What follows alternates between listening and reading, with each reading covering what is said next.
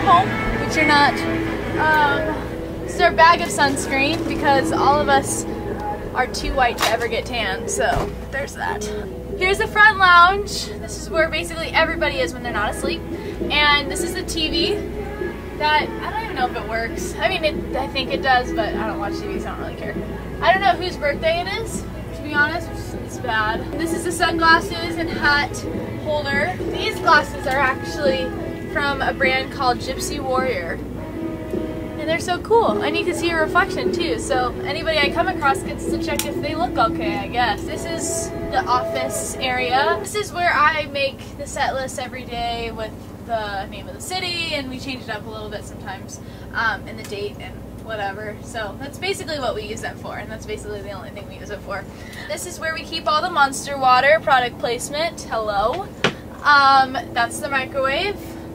This is for medicine and emergency, um, which everybody needs this.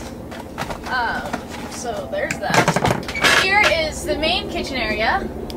Jamie's coffee grinder, his little hot water maker for his coffee, Keurig for all the normal people. This is the Fruit Ninja that I use um, a lot.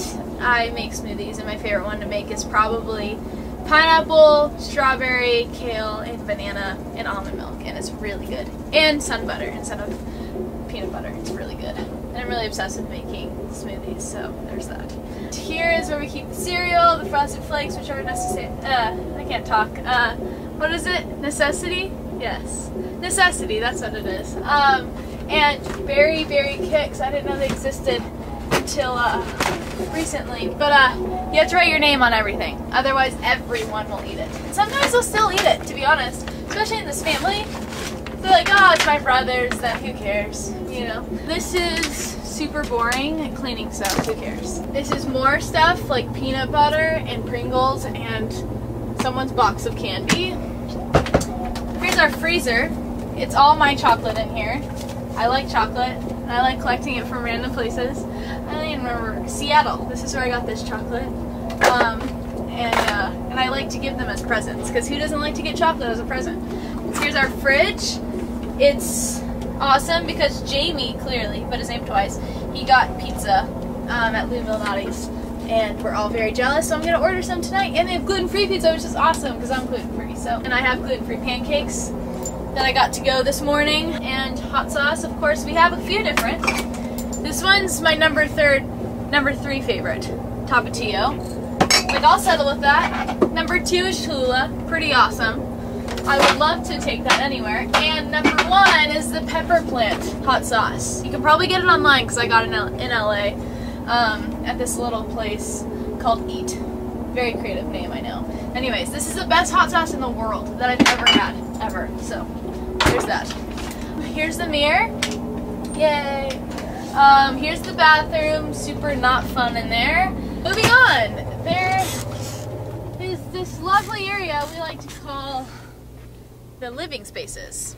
Um, those bunks aren't um, with the, those aren't our families, so I don't know whose is who. But um, this is our family's bunks, um, and this is mine. Sorry, it's a little messy. Oops.